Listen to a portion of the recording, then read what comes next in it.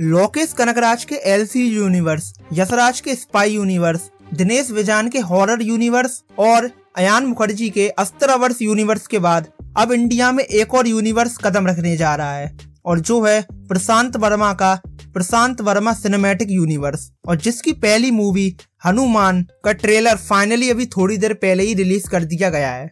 और इस वीडियो में मैं आपको इस ट्रेलर के बारे में बताऊँगा कि ये ट्रेलर कैसा है और इसके क्या पॉजिटिव्स और नेगेटिव पॉइंट्स हैं? लेकिन इस वीडियो को स्टार्ट करने से पहले हेलो गाइस मैं हूँ अभिषेक और अभी एक्सप्लेन की एक और वीडियो में आप सभी का स्वागत है।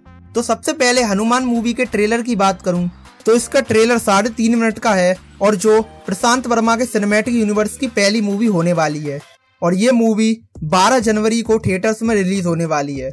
इसके बाद बात करूँ इस ट्रेलर के कुछ पॉजिटिव पॉइंट की तो इसका स्केल मुझे काफ़ी ज़्यादा अच्छा लगा है। और जिस हिसाब से कुछ शॉट्स को सीन किया गया है, वो भी काफ़ी सुंदर लग रहे हैं। लेकिन फिर यही इस मूवी की सबसे बड़ी कमज़ोरी और निगेटिव पॉइंट्स निकल कर आते हैं, जो है इस मूवी के बीएफएक्स और सीजीआई को लेकर।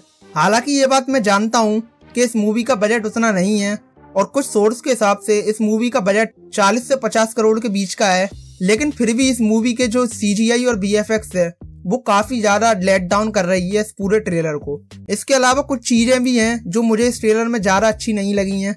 लेकिन फिर भी, जिस हिसाब से इन्होंने हमारे कल्चर को इसमें रिप्रेजेंट करने की कोशिश करी है और हनुमान जी के कुछ एक दो शॉट्स और मूर्ति हमें देखने को मिली हैं, वो काफ़ी ज़्यादा सुंदर लग रही हैं।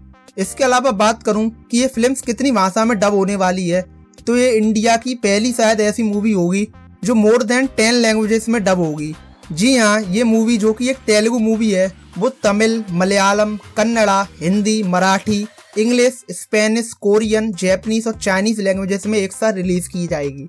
लेकिन फिर सवाल यही निकल कर आता है कि जितना खर्चा इनके क्रिएटर्स ने इसकी डबिंग लैंग्वेजेस में किया है, उतना ही खर्चा अगर ये इसके बी एफ़ एस्पेक्ट्स में करते और इस मूवी को इतने बड़े स्केल पर रिलीज़ ना करने के हिसाब से, सिर्फ़ कम भाषा में ही रिलीज़ करते तो शायद इस मूवी की सीजीआई और बीएफएक्स और बेहतर हो सकते थे। और हमें ये ट्रेलर जो कि ठीक ठाक है, उससे काफ़ी ज़्यादा अच्छा देखने को मिलता।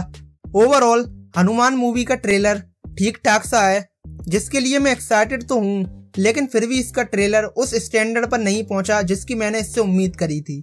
लेकिन फिर अब इंतज़ार है बारह जनवरी का, जब हमें ये मूवी थिएटर्स में देखने को मिलेगी और तब हमें पता चल जाएगा कि क्या प्रशांत वर्मा का ये यूनिवर्स इंडियन सिनेमा को कुछ नया प्रोवाइड करेगा।